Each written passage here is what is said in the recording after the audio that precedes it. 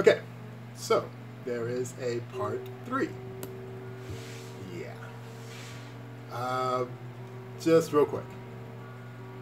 I wanted to put in here that, that was over there, that during my research, when I, um, after I had seen the movie, um, obviously, yeah, I was very sure I had Asperger's.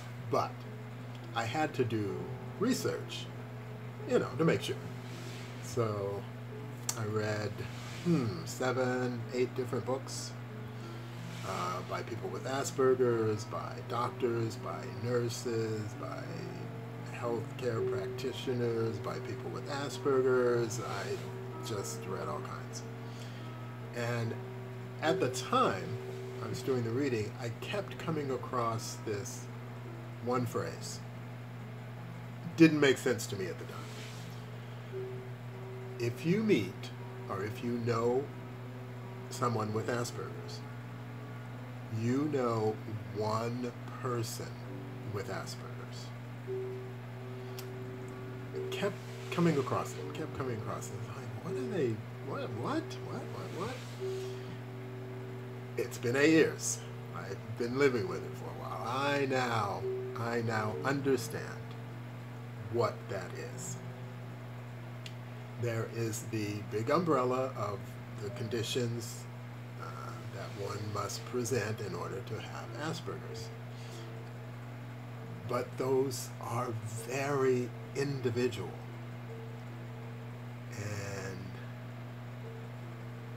for instance, I had mentioned that I only wear white shirts. Okay, that is my presentation of Asperger's.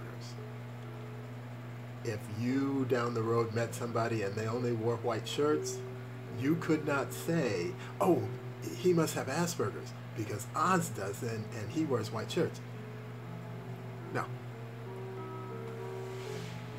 We all present differently.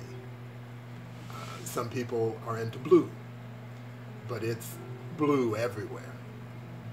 Blue t-shirts, blue jeans, their bedroom is blue, their sheets are blue, their pillowcase is blue. Okay. So, knowing somebody with Asperger's, you don't know everything about Asperger's. You know everything about Asperger's pertaining to that individual. Very important. Big difference. Very helpful. Very helpful.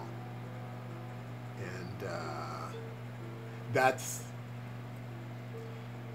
that was important. I wanted to include that in my little take here. So this is the next day, but very important. Just wanted to put that in there. We're done.